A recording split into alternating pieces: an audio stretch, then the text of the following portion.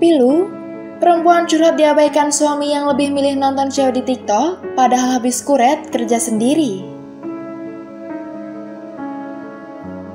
Istri mana yang tak sakit hati menyaksikan suaminya gemar menonton video perempuan lain di TikTok? Terlebih, kondisinya sedang tidak baik-baik saja usai mengalami keguguran.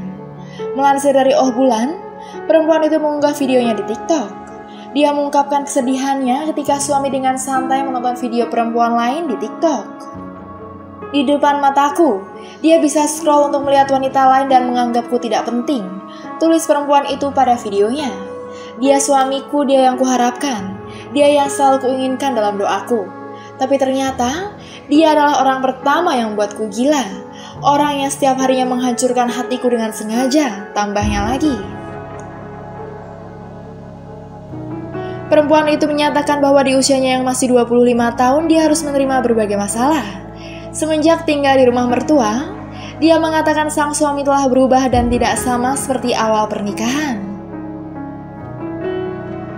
Kami sudah menjalin cinta selama 3 tahun dan menikah pada 22 April 2022. Namun semuanya berubah sejak tinggal di rumah mertua. Di rumah malah diacuhkan dan tidak dianggap sebagai istri tambahnya. Dia bahkan belum lama merasakan dikurat karena keguguran. Saat perempuan itu menyatakan rindu dengan orang tua, suaminya tak akan peduli.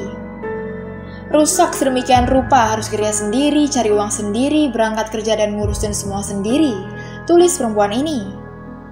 Hal ini yang kemudian membuat perempuan itu bertekad untuk berpisah karena dia tak tahan meski pernikahan baru seumur jagung. Sekarang aku baru sadar bahwa menikah dengan orang yang kita cintai belum tentu bahagia pada akhirnya, tambahnya. Mungkin takdirku seperti ini untuk bercerai dan menerima kenyataan bahwa kita tidak akan pernah menemukan kebahagiaan di tangan orang lain, imbungnya lagi.